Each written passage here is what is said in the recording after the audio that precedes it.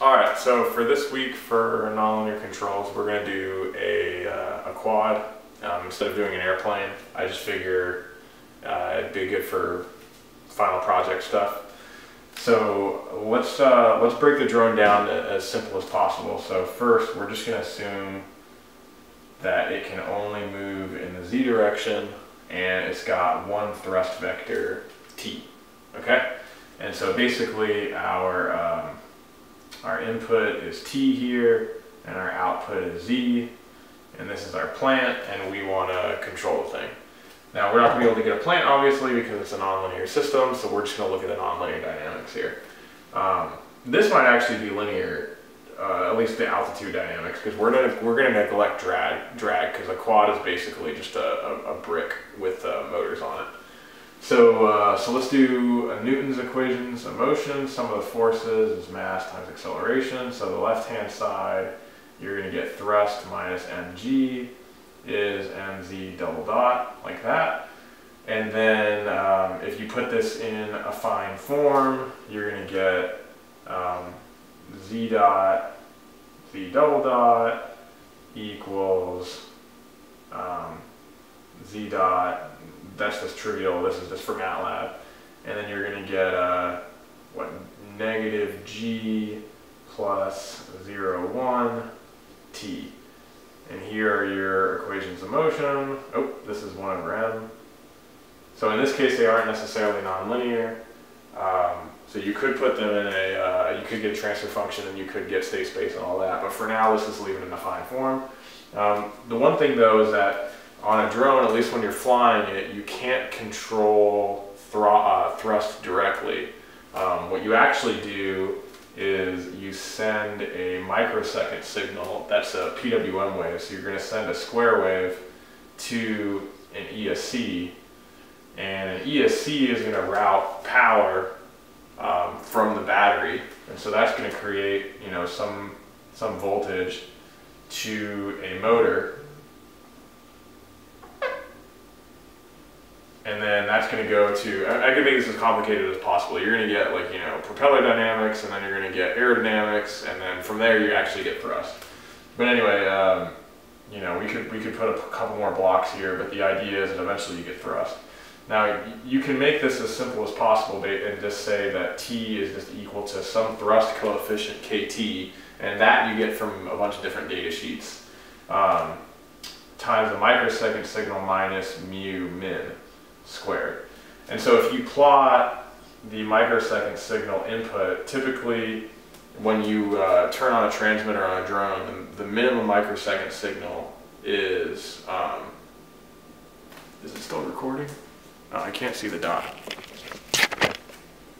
Okay, the, the, minimum microsecond signal is usually around like 900. Sometimes it's 1100. But basically it means that if you kill the throttle, the drone won't stop. We'll, we'll give you no thrust and thus that's T equals zero.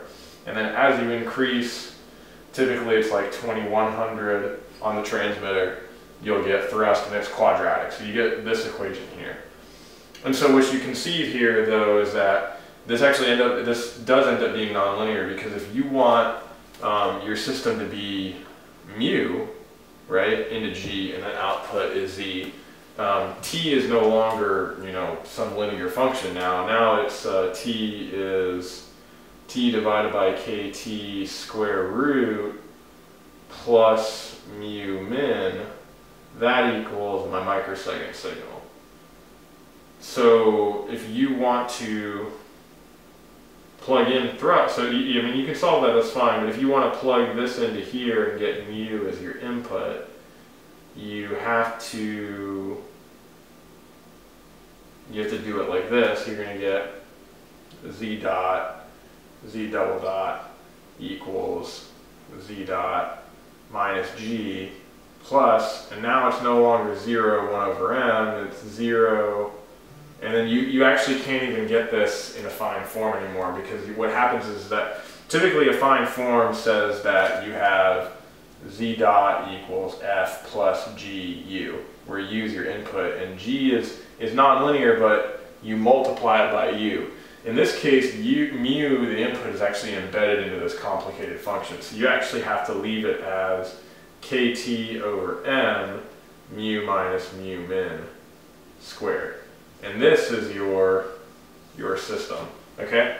And so that gets kind of complicated on what to do, all right?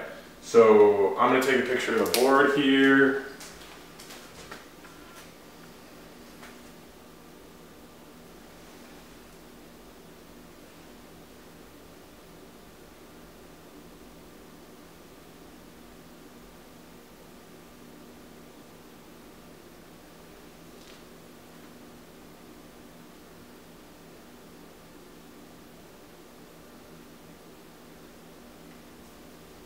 Okay. And again, if you are, uh,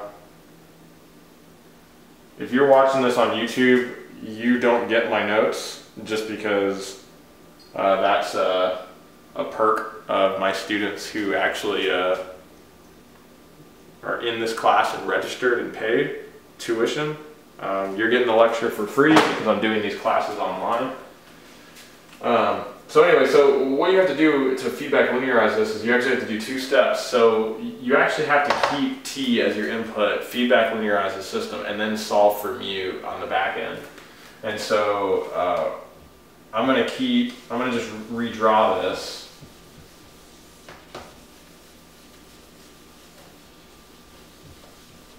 And I'm going to say you've got z dot, z double dot equals zero, oops, sorry, z dot negative g uh, plus 0, 1 over m t.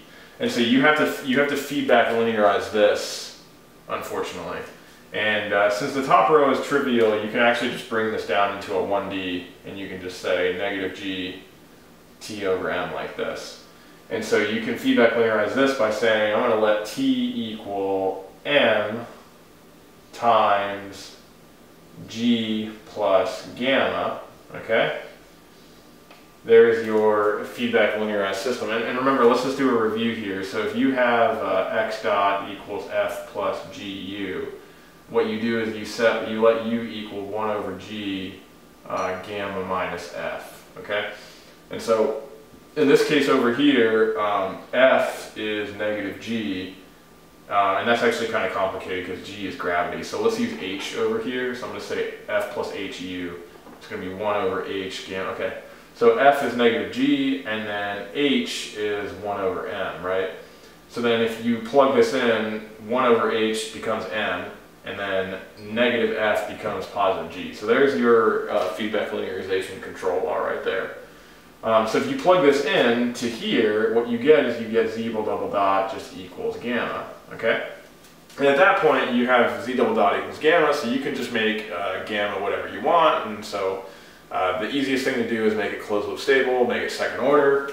And so if you just let gamma equal uh, z double dot command plus, let's see, sorry, minus uh, kp z, I have to get this right, z minus z command minus k, kd uh, z dot minus z dot command. And again, this is assuming full state feedback. If you make this gamma, okay, I'm going to need to get a new marker. If you make this gamma, what happens is, is that if you plug this into here, your closed loop dynamics becomes z double dot minus z double dot c, because this comes to the other side, and then that is basically e double dot plus kp. Let me, let me bring the kd over. You're going to get kd z dot minus z dot command, and that's basically kd e dot, and then you bring the kp over, z minus z command equals zero, and you get kpe equals zero. And so those are your closed loop dynamics for a, uh, for a drone, uh, at least in the altitude. So again, so here are your um, altitude dynamics, here is your control law for with the pseudo control in here, and then here is your pseudo control law right here. And then again, this is just gonna this is gonna give you thrust, and remember that mu, your actual microsecond signal, is gonna be um, mu min plus the square root of t over n, kt. And so if you're simulating this on a computer, you can just compute t uh, and just send it as a force to your system. That's totally fine. But if you're actually building a drone and you want to command the ESCs, you actually do have to do this last conversion at the end, okay? So this is just for the altitude dynamics. I'm gonna upload another video for the rotational dynamics and then another video where you combine it all together, okay? Um, so I hope you enjoyed this video and I guess post in the comments if you have any questions.